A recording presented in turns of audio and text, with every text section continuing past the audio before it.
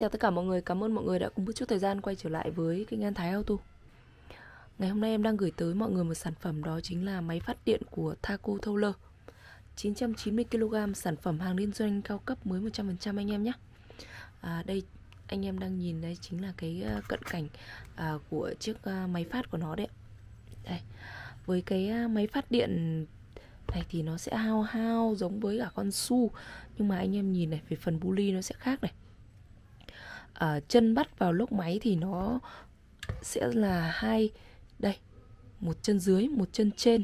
À, rắc điện của IC nó sẽ là ra ba rắc. Đây là cái đầu ra của con à, vị diode à, ờ, bully của máy phát là chạy bản 5BK đây là hàng mới 100% anh em nhé. Đây anh em có thể nhìn thấy cái các cái lõi đồng nhé. Thì em sẽ đưa sát cái cam vào để cho chúng cho anh em nhìn này. Đó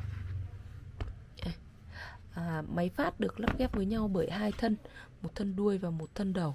Lắp ghép với nhau qua một con ốc xuyên qua thân như thế này. Đây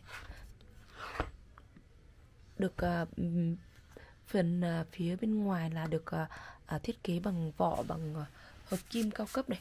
Ở đây phía bên trong này anh em có thể nhìn thấy là chính là cái à, vị diode này kèm IC này. Đấy.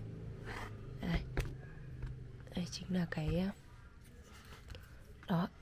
đây chính là các cái ờ, sợi đồng người ta quấn vào để uh, cho máy hoạt động. Đây phía bên trong của máy phát đó chính là cái cánh quạt để tản nhiệt cho máy phát mát khi mà ừ, máy phát hoạt động.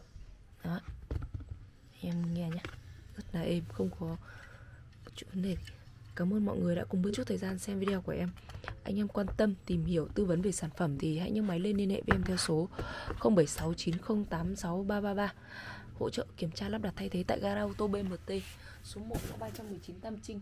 Số liên hệ là 0856727222 em xin cảm ơn, hẹn gặp lại mọi người trong video kế tiếp. Em xin chào.